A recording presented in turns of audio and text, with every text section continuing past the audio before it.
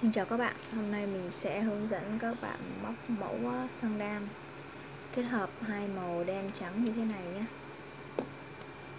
Bây giờ mình sẽ đi đôi xăng đan này lên chân để cho các bạn biết được kiểu dáng của nó như thế nào.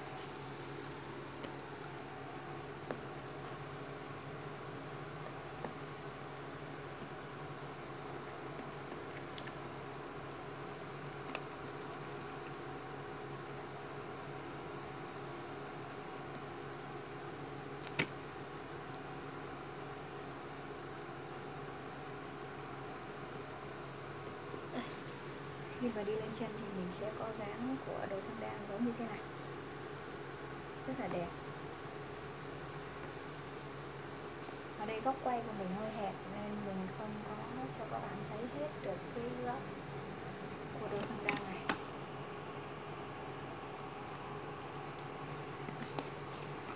đây là mặt bên trong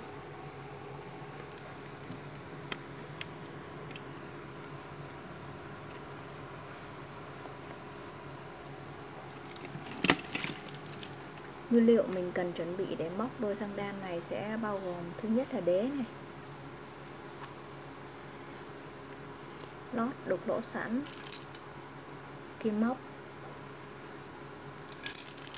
kim khâu và hai cuộn sợi dù màu trắng và màu đen 1mm để thực hiện móc ờ, đôi xăng đan này, chúng ta sẽ thực hiện móc phần quai trước rồi tới móc phần là quai phía sau và móc phần quai ngang như thế này. Và ở đây mình sẽ cần một bộ.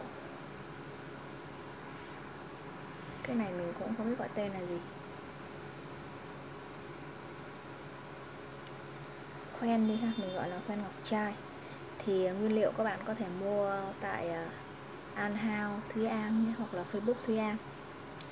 Bây giờ mình sẽ thực hiện như sau. Đầu tiên mình sẽ sử dụng sợi dù màu đen.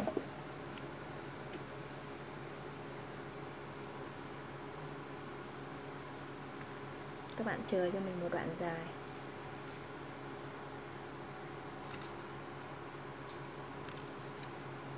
Các bạn sẽ móc lên cho mình 40 bính.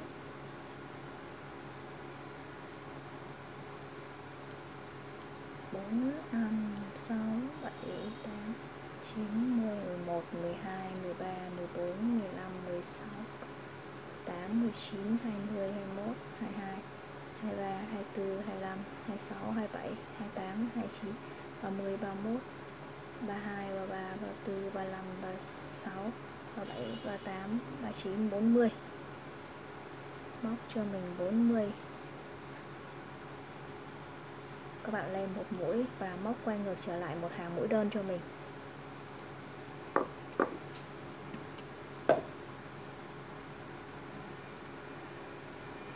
các bạn móc cho mình một hàng mũi đơn cho tới cuối hàng.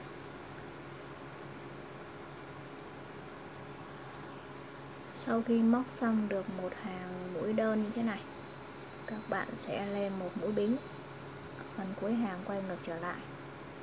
Và các bạn sẽ đổi ờ, kim móc nhỏ hơn. Ở hàng này các bạn sẽ không móc xuyên kim qua cả hai chân móc mà các bạn sẽ móc vào bên cạnh. Để mình tạo thành một đường gân nổi cho chiếc dép, cho phần quai dép.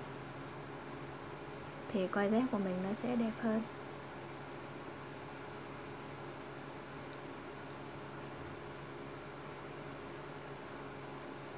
Tí nữa tới phần màu trắng thì các bạn sẽ dễ hình dung hơn. Đây, đường gân của quai dép nó sẽ nổi lên như thế này thì tương tự các bạn sẽ móc như vậy cho tới cuối hàng nhé. Đây, các bạn sẽ thấy một đường gân nổi lên này. Sau khi ờ, móc một hàng mũi đơn vào bên cạnh mình tạo một đường ờ, gân nổi lên như thế này thì tới cuối hàng các bạn móc một mũi đơn bình thường. Sau đó các bạn sẽ thay sợi màu trắng cho mình.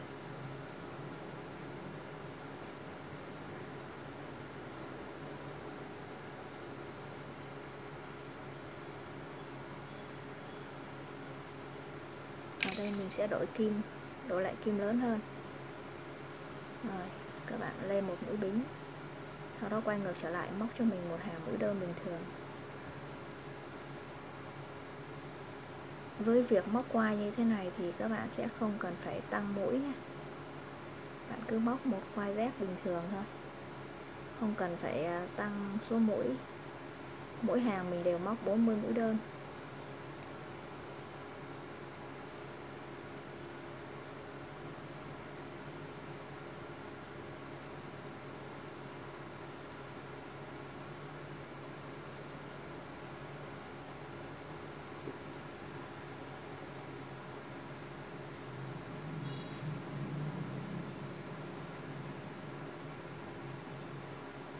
Tương tự như vậy, các bạn sẽ móc cho tới cuối hàng, một hàng mũi đơn màu trắng cho mình. Ở đây tới cuối hàng, các bạn sẽ móc cho mình một mũi đơn. Sau đó các bạn sẽ thay phần sợi màu dù màu đen cho mình. Thì ở đây nếu như các bạn không có hai cuộn sợi dù các bạn sẽ cắt và chừa lại một đoạn dây dài như thế này. Để mình lấy cái phần dây dù mình móc qua bên đây. Dây màu đen các bạn nhớ là cái sợi màu trắng thì mình chỉ móc một hàng mũi đơn thôi, sau đó mình sẽ quay ngược trở lại. Và mình móc.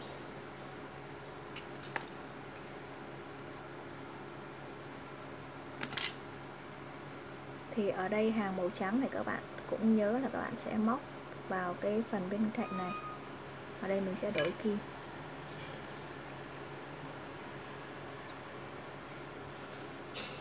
đây, mình sẽ móc vào cây bên cạnh này để mình tạo một cái đường gân.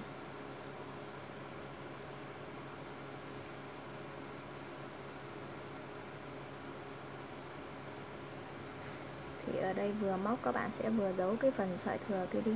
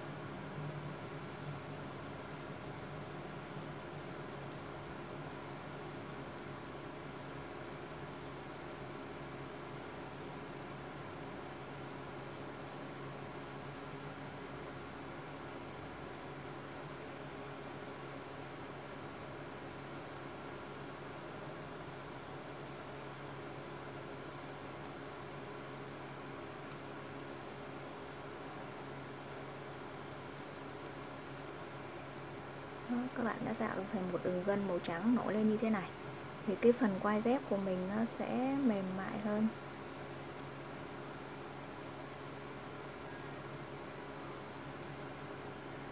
Phần sợi dù này thì mình sẽ đốt nhé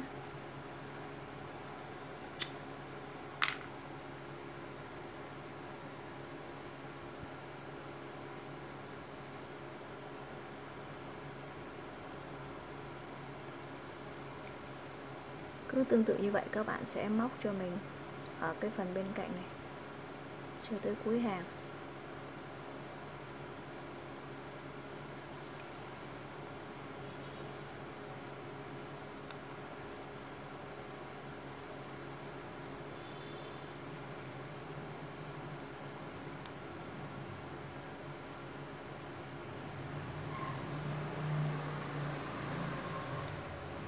Và sau khi móc được tới ờ, cuối hàng rồi, thì các bạn lại móc quay ngược trở lại một hàng ờ, màu đen.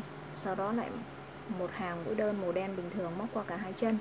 Sau đó lại móc quay ngược lại một hàng mũi đen. Tạo một đường gân như thế này. Thì khoảng cách giữa hai quai màu trắng thì sẽ bằng một đường gân màu đen. Sau đó các bạn móc cho mình ba đường gân màu đen này và hai đường gân màu trắng. Thì mình sẽ hoàn thành được một chiếc quai giống như thế này. Sau đó mình sẽ hướng dẫn các bạn khâu vào phần đế nhé. Sau khi đã móc xong được phần quai bao gồm 3 đường ờ, gân màu đen và hai đường gân màu trắng, thì các bạn sẽ móc cho mình một hàng viền xung quanh cái phần ờ, thân trước này, phần quai trước này nhé. Móc một hàng viền mũi đơn bốn xung quanh.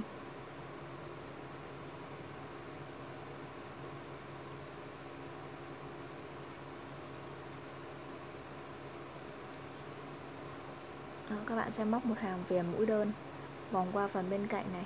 Và ở cái phần à, cạnh phía trên này, các bạn sẽ móc cho mình một hàng mũi trượt. Thì để phần quai của mình nó sẽ ít bị co giãn. Và khi móc viền các bạn nhớ móc chặt tay nhé. Thì cái phần quai quai trước của mình nó sẽ ít bị co giãn hơn.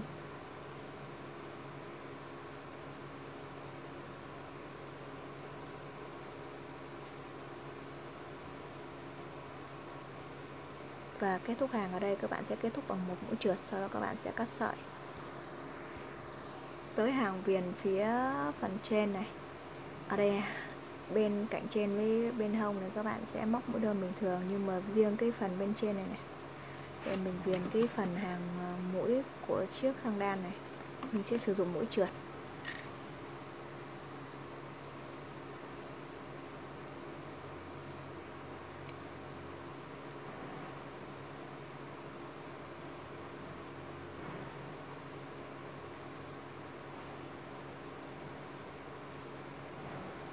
Các bạn cứ như vậy sử dụng mũi trượt cho tới hết cái hàng này. Sau đó qua bên hông các bạn lại móc một hàng mũi đơn bình thường nhé.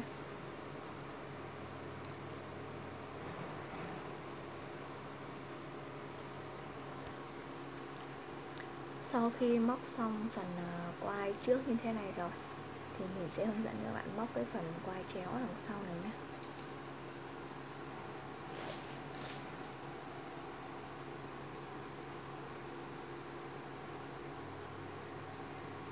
Móc bất kỳ quai nào, các bạn cũng chừa ra một đoạn dài để lát nữa mình sẽ khâu. Thì đối với phần quai này, các bạn sẽ móc lên cho mình 70 mũi bính. Từ 70 cho tới 80 nhé, tùy theo cổ chân. 2 3 4 5 6 7 8 9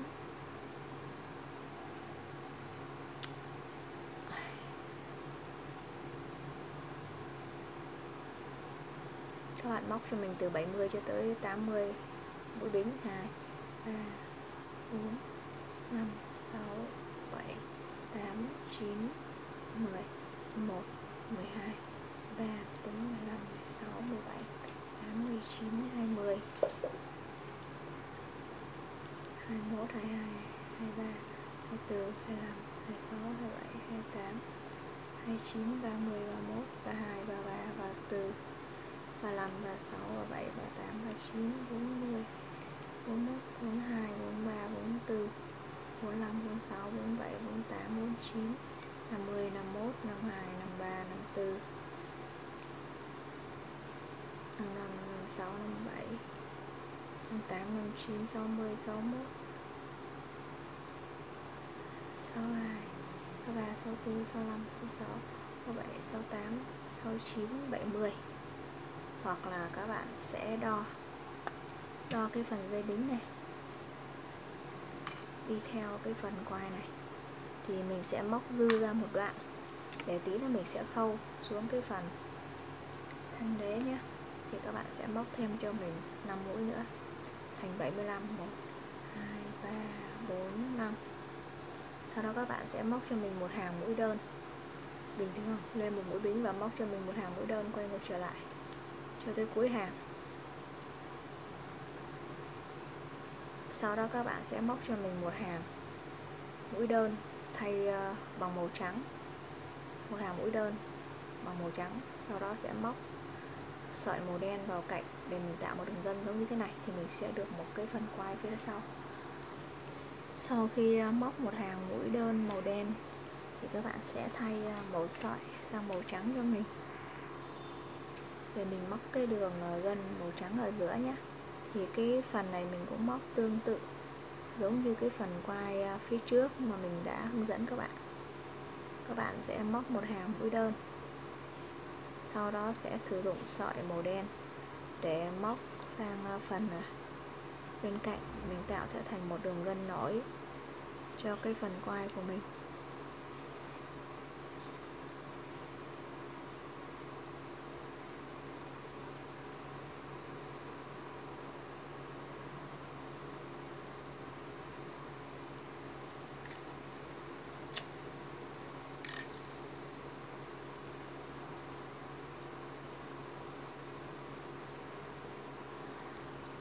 Sau khi móc xong được một hàng mũi trắng như thế này rồi thì các bạn sẽ thay sợi màu đen cho mình. Và móc vào à, cạnh bên. Mình sẽ đổi kim nhỏ hơn. Để mình tạo đường gân nổi màu trắng, tạo điểm nhấn cho cái quai. Móc kiểu này thì nó hơi lâu một chút nhưng mà cái phần à, quai à, quai quai thâm đan của mình nó sẽ đẹp hơn. Vừa móc thì các bạn sẽ vừa giấu cái phần sợi thừa đó đi.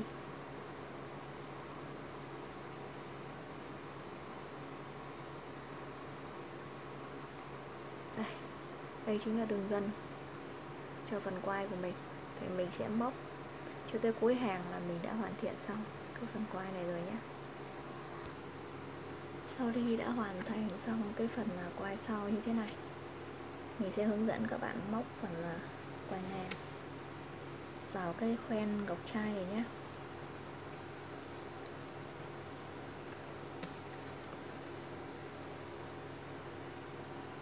Các bạn sẽ móc cho mình 6 mũi đơn vào cái ngọc trai này.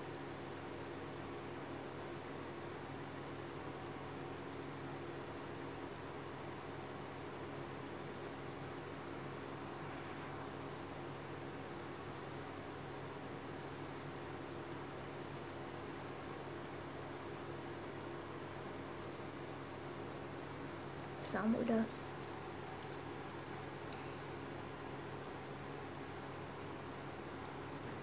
đây là mặt phía bên ngoài thì các bạn sẽ quay cái khoen giống như thế này.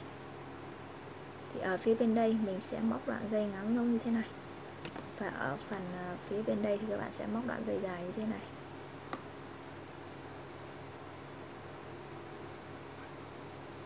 Các bạn sẽ móc cho mình từ 10 tới ở đây các bạn sẽ lên cho mình một dây bính từ 10 cho tới ờ, 15 mũi bính. 5 6 7 8 9 10 11 12 13 14 15 sau đó các bạn sẽ quay ngược trở lại và móc cho mình một hàng mũi đơn.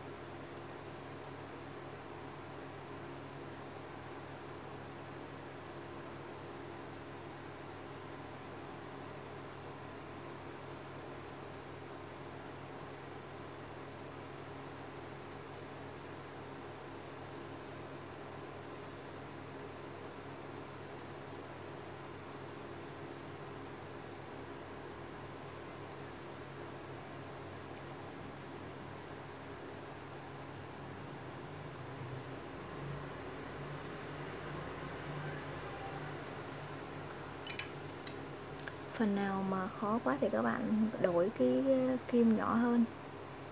Để mình móc cho dễ nhé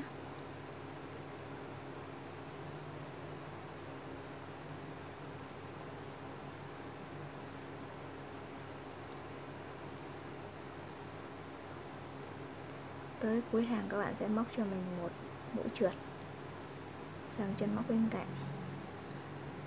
Và ở đây mình sẽ thay màu len thì các bạn nhìn này, đây là cách mình lấy sợi và mình đổi ờ, sợi màu khác, nó sẽ không có bị ờ, bị lộ, mà nó sẽ đẹp giống như thế này.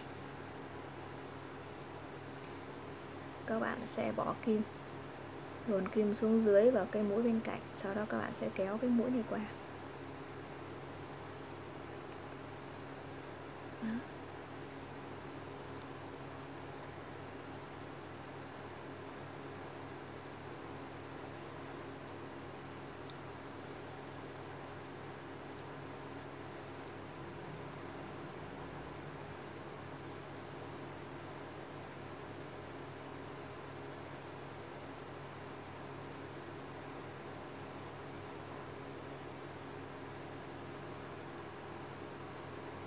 Sau đó các bạn sẽ đổi sợi màu trắng cho mình để mình móc cái đường vân ở giữa như thế này. Đổi sợi màu trắng.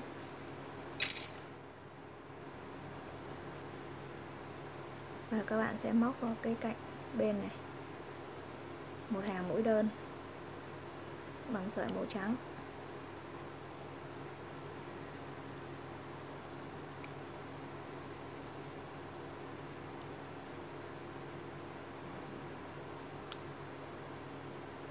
Đó, vừa móc, các bạn sẽ vừa giấu cái phần sợi thừa này đi.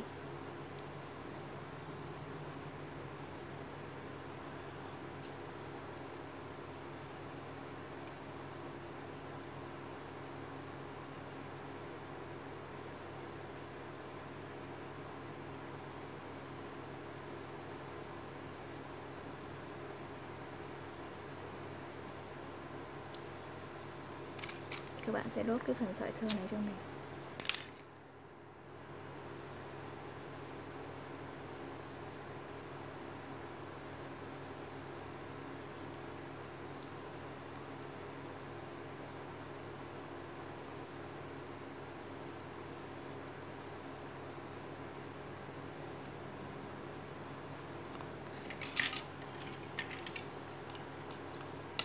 tới phần cuối này, các bạn sẽ thay sợi màu đen.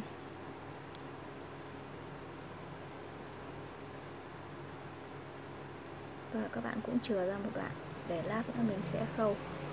Và các bạn sẽ cắt cho mình cái sợi màu trắng này. Bây giờ quay ngược trở lại. Mình sẽ đổi phần kim nhỏ hơn. Để mình móc vào cái phần à, cạnh bên này, giống như các quai khác. Để mình tạo à, đường gân.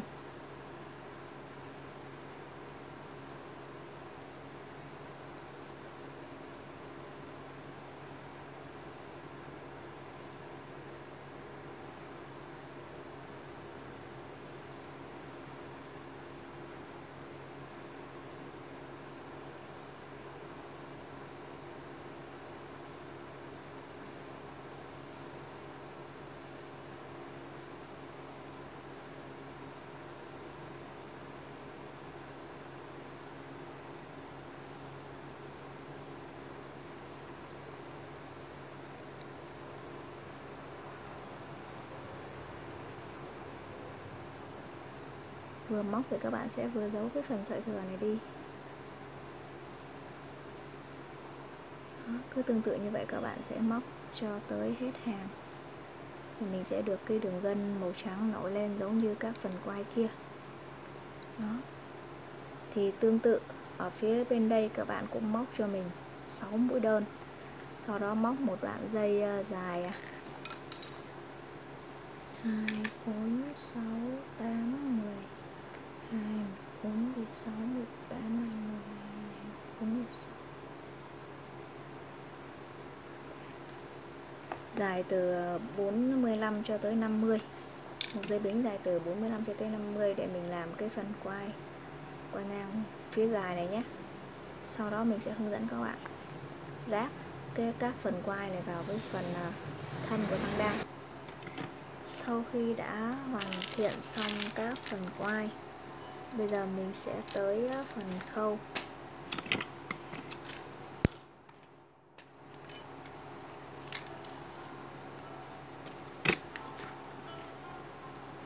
Các bạn sẽ đặt hai ờ, chiếc dép ở gần nhau như thế này. Sau đó mình sẽ sử dụng cây viết. Mình đánh dấu.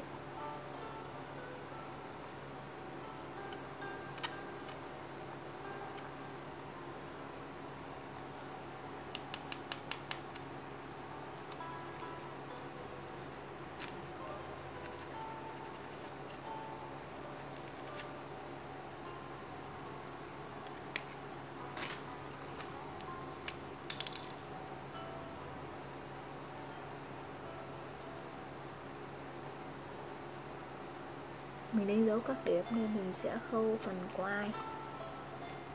Thì phần quai mình sẽ khâu chéo như thế này, thành một đường chéo như thế này. Thì ờ, chiếc dép của mình nó sẽ đẹp hơn.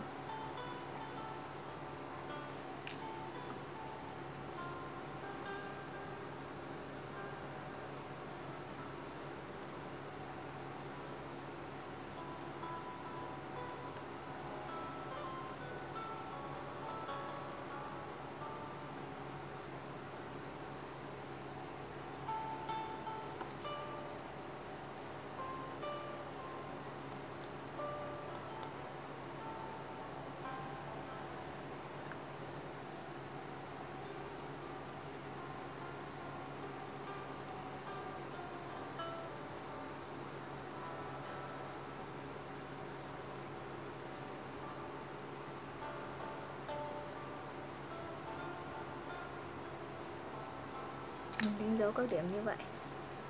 Bây giờ mình sẽ bắt đầu. Đầu tiên các bạn sẽ cắt cho mình một đoạn sợi dù dài như thế này. Mình sẽ xuyên qua kim.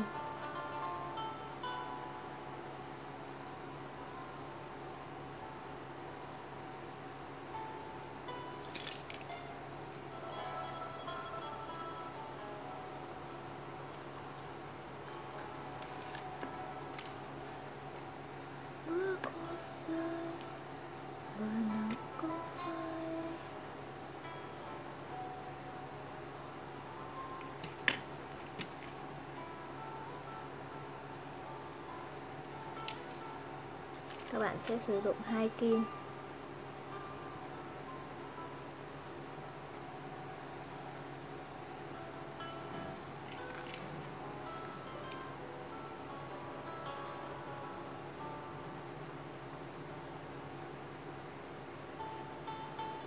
Mình sẽ khâu cái phần đế với ờ, phần lót phần lót uh, phần miếng lót này lại với nhau.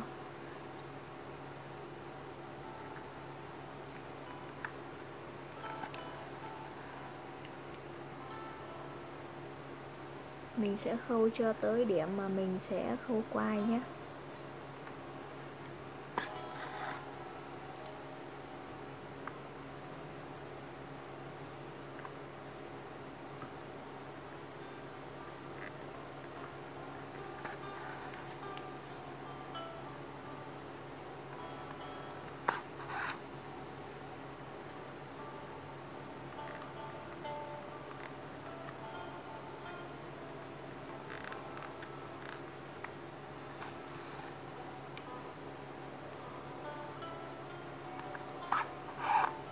Ở đây tới cái phần mực đánh dấu phần qua này rồi, các bạn sẽ lấy phần quai và các bạn nhớ này, cái phần mà mình móc mũi trượt đó mình sẽ quay lên trên và phần à, mình móc mũi đơn viền mình quay xuống dưới.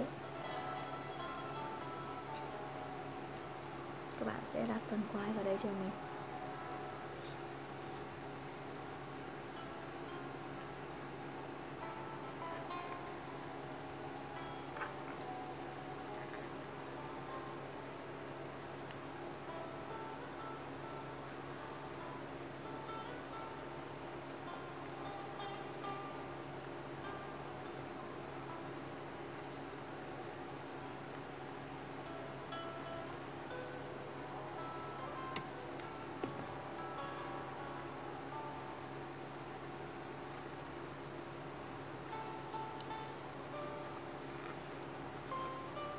Các bạn sẽ đâm kim qua và xỏ qua một phần đầu tiên của cái quai này.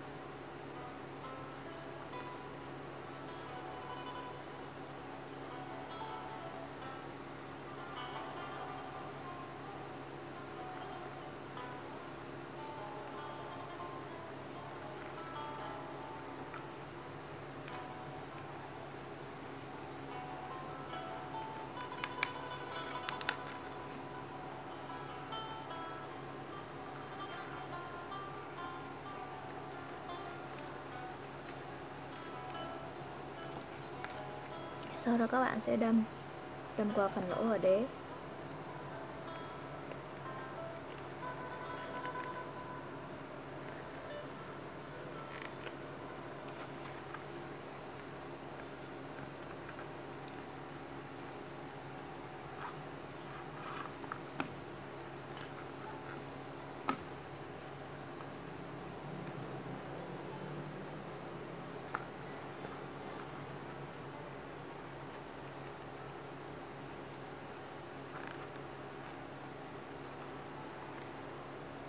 Tương tự như vậy các bạn sẽ đâm tiếp lỗ bên cạnh.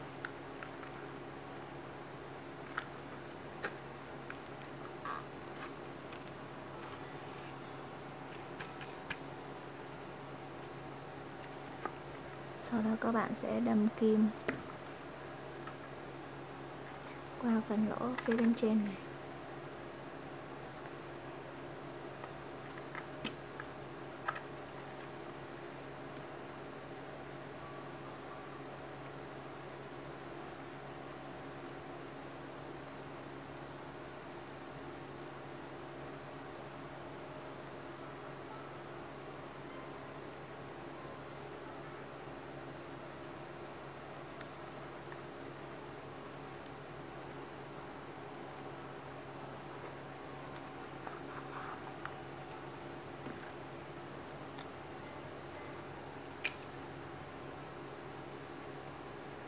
Cứ tương tự như vậy, các bạn sẽ khâu cho tới khi mình hoàn thành hết.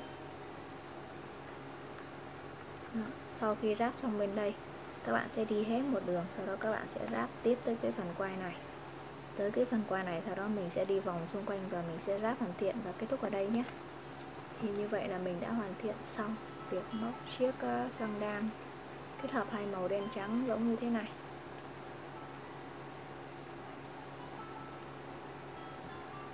Các bạn thành công nhé. Cảm ơn các bạn đã quan tâm và theo dõi. Xin chào và hẹn gặp lại các bạn.